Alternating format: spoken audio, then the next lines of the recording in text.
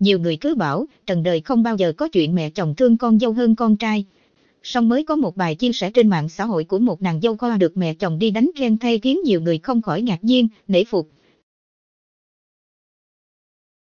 Nàng dâu đó kể, có ai giống em, người ta sợ cảnh làm dâu còn em chỉ thích sống chung với mẹ chồng. Mà tính ra, nếu không nhờ có bà, chắc em với lão nhà em ân đoạn nghĩa tuyệt lâu rồi. Người ta bảo hôn nhân là nấm mộ của tình yêu cấm sai tẹo nào. Khi yêu lão nhà em lúc nào cũng tỏ ra ga lăng tâm lý, chiều bạn gái thôi rồi. Em đổ lão cũng vì điều đó. Xong sau cưới, em lại ngã ngửa nhận ra, lão ga lăng với em được thì cũng ga lăng với thiên hạ được. Câu chuyện đang thu hút sự chú ý của nhiều người. Lão dẻo miệng lắm, có vợ rồi mà ngồi đâu cũng chém gió như thần rằng chưa kết hôn. Mặt lão già đau mà chẳng hiểu sao con gái vẫn cắm đầu theo cho được. Có hôm nửa đêm nằm bên vợ, lão vẫn còn nhắn tin thả thính với gái. Em túng được, làm ừm. Mẹ chồng em biết chuyện chạy lại lôi lão sang phòng bà lên lớp cho một bài tới khuya. Được cái mẹ chồng em tâm lý mà sống công bằng lắm.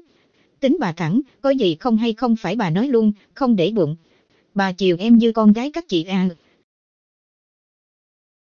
Bà bảo cùng là phận đàn bà, sống cảnh làm dâu bao năm rồi nên bà thấm đời phụ nữ thiệt thòi như thế nào.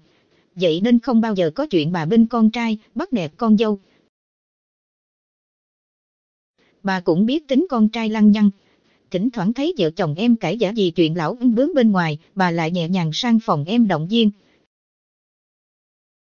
Đến hôm qua, ăn cơm xong nghỉ ngơi một lúc mẹ chồng em đi bộ tập thể dục còn em lừa con ngủ xong quay ra dọn dẹp nhà cửa đang đánh cái bồn rửa bát thì mấy mẹ chồng em gọi điện pha xe time cho em, nhìn xem đây có đúng là cái con suốt ngày nhắn tin đò đưa với thằng Thái không. Nay thì mẹ Tuấn sống tại trận rồi. Thì ra mẹ chồng em đi chạy bộ ngoài công viên cách nhà em một đoạn cũng khá xa, lớn lớn thế nào lại nhìn thấy con trai ôm hôn bồ. Vậy là bà lao vào túng con trai tác túi bụi. Con kia định chạy mà không thoát được bà. Được cái bà đi bộ có đoàn thể nên mỗi bà một chân một tay quay lại cho lão với con kia quay cuồng, trốn không được bà không đánh mà cứ con trai đấm đá. Nhờ mấy bà trong hội đi bộ giữ hộ, bà bật điện thoại ly dắt trim với riêng em, còn dặn, nhớ lưu vào con Nga. Để sau này nó mà còn dễ dẫn, cứ mang clip này tung lên mạng cho chúng nó hết đường ngẩn mặt nhìn đời luôn. Bà gì em mà không cần giữ thể diện với hàng xóm đâu các chị à. Lúc sau bà kéo sình sợi lão về nhà, tiếp tục ca cho lão thêm vài bài nữa. Lão cúi gầm không dám nhìn vợ, Án minh họa. Từ qua tới giờ lão cứ quẩn quanh xin em tha thứ mà em chẳng buồn đáp lại. Mẹ chồng em bảo cứ mặc xác, không được mềm lòng sớm. Lần này phải làm mạnh cho lão sợ. Nếu dế vẫn cứ lấy cái liếp kia ra mà dằn mặt. Thật chứ nghe mẹ chồng nói mà em cảm động tới cây sống mũi. Đời em đúng là quá may mắn mới có được người mẹ chồng tuyệt vời như bà. Nhiều lúc ngồi chơi với con, em lại thầm nghĩ, nếu không có bà có lẽ em với lão đường ai nấy đi từ lâu rồi mọi người à.